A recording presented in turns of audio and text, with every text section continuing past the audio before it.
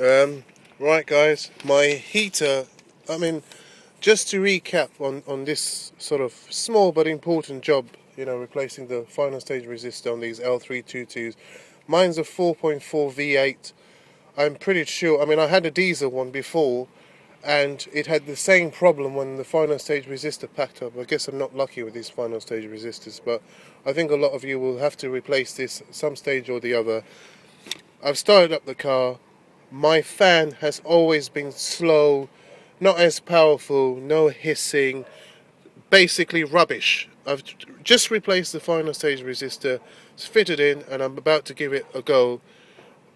And let's see if it works. Um, so just turn that on. I mean, as you can hear, I'm really happy. it doesn't sound like it, but I'm really happy because I, have never had this since I bought this vehicle. I've just bought it. I'm the second owner from new. As you can see, today's date is the obviously that's today's date. The um, mileage is 89,000. I'm the second owner from new. Uh, I've spoken to, the, I've, I've every single bill for this vehicle, and typically this one had to go. But it's forty pounds from Duckworth Land Rover. This is an original Land Rover part. I've shown you the uh, the packaging and obviously my invoice. I mean, for you guys, if you, if you haven't got time or anything, that is the business. That is sort of the. Uh, um, Duckworth Land Rover. I mean, they're based in the address is 101 London Road in Kirton, which is Boston, Lincolnshire.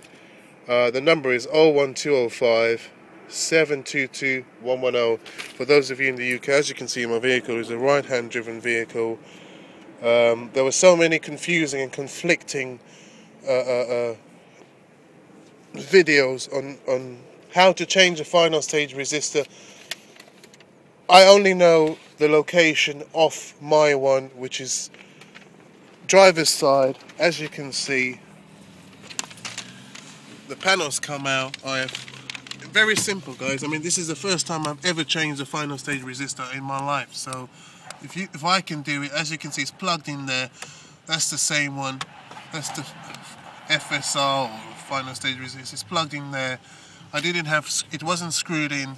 I've just pushed it back in the important thing to remember is to push it back in as far as possible because I pushed it in the first time and I thought it was in then I thought I'll give it another go. You push it in and you'll know when it's in. It's important that it goes in right into the motor not not obviously with excessive force. Use reasonable force. And now opposite of reversal refitting this was the last off which becomes the first bit on. I mean sorry to go on and on guys but it's kind of difficult for um, for people who don't really sort of fiddle around with vehicles and stuff. Um, that's the plate there, and obviously that's that goes that way. And you plug in your um, PDC, you plug in the PDC thing in there, the buzzer. Don't forget to connect your light in. I mean, the cable for the foot thing in there. It props up here and you've got sort of you've got one, two, and three, four, and five. That's, that's it, five Torx head screws to hold it in and that's it job done final stage resistor done heating's working again didn't cost me anything but 40 pounds other than sorry 40 pounds and 20 minute job. That's it. Job done.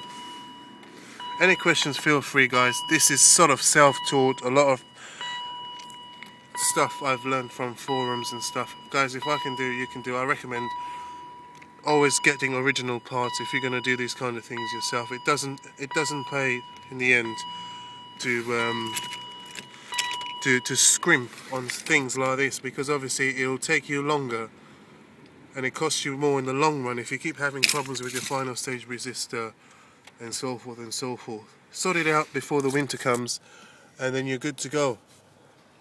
Thanks a lot guys, thanks for watching sorry for going on and on and repeating myself. I just all I want to do is help people who are stuck. You know, these things happen and keep the Land Rover community going. Uh, thanks a lot. Thank you.